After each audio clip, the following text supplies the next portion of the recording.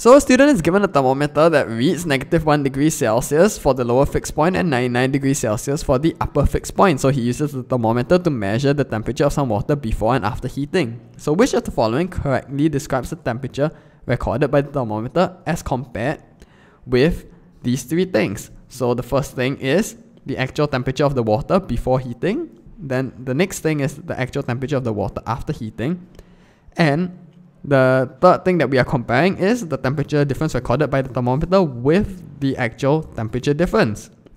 So let's just uh, restate that again.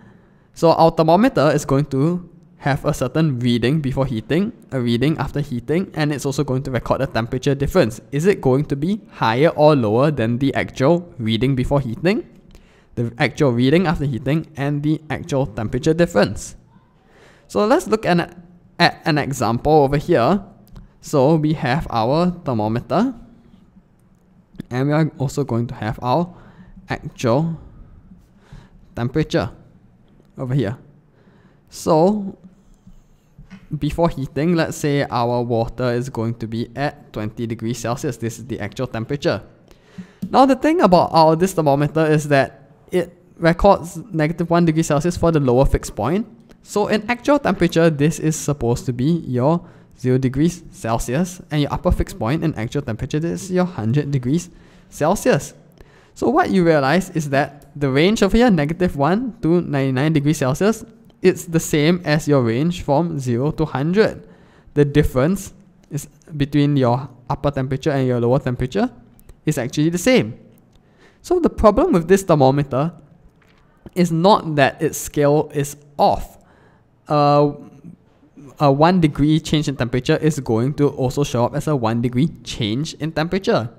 But the problem with this thermometer is that every temperature you record is going to be 1 degree Celsius lower.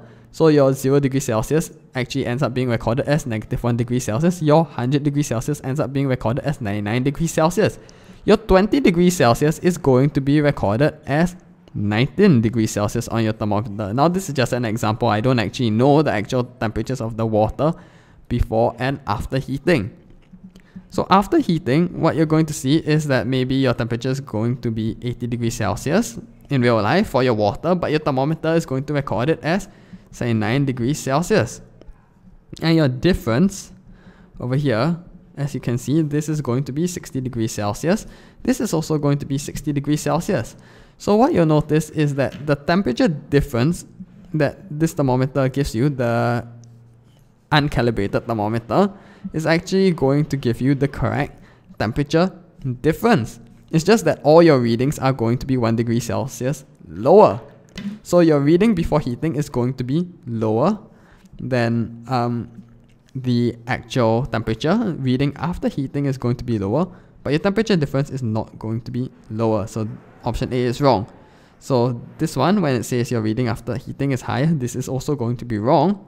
So now let's look at option C instead. Lower, lower, and same. So yes, this is going to be our answer. Now obviously option D is wrong because of these two.